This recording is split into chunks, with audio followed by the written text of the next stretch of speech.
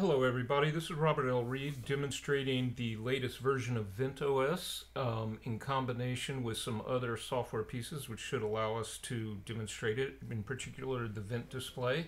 VentOS is a project of helpful engineering that is designed to be a universal platform for respiratory support devices such as mechanical ventilators, uh, BPAP or BiPAP machines and CPAP machines and possibly even PAPRs.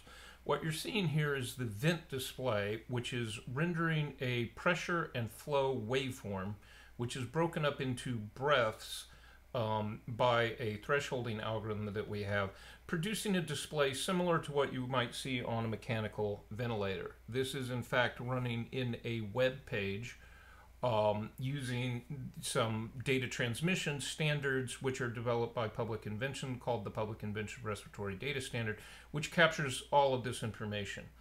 VentOS is not running on a computer, but is running on a microcontroller. In this case, it's an ESP32, which is attached through the serial port on my desktop. Uh, so what you're seeing is the output of a tiny computer, a microcontroller, as one would embed it inside a uh, electronic ventilator.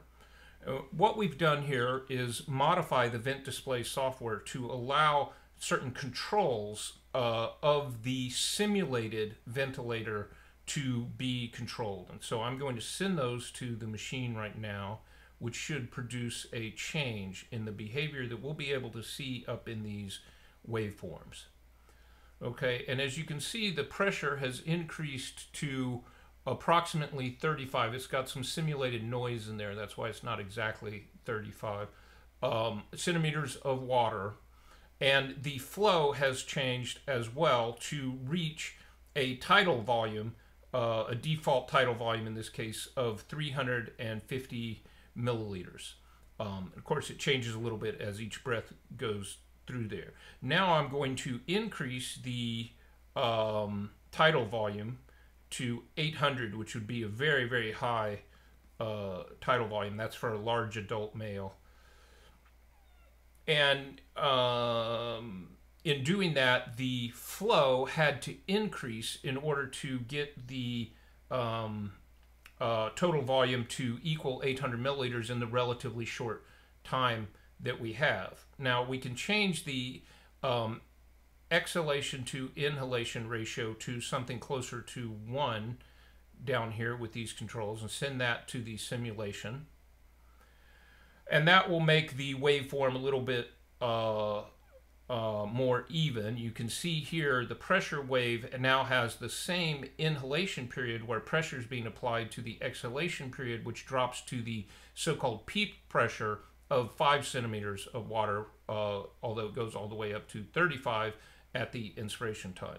So let us suppose that we needed to increase the inspiration pressure just a little bit. I can do that and we'll be able to see it come out here. Now the pressure has increased just a little bit and I can, for example, increase the respiratory rate which will make it go faster, but will make each breath necessarily be shorter. You can see the inhalation time has gotten shorter.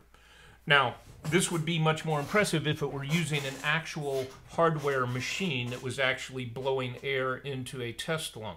That is, in fact, the purpose of VentOS, but right now we're doing this in simulation we're doing it with drivers, which uh, presumably all we have to do is obtain hardware, write the proper drivers, and we'll be able to obtain something very similar to this effect uh, with the VentOS. So this is a prelude to us using this on real machines.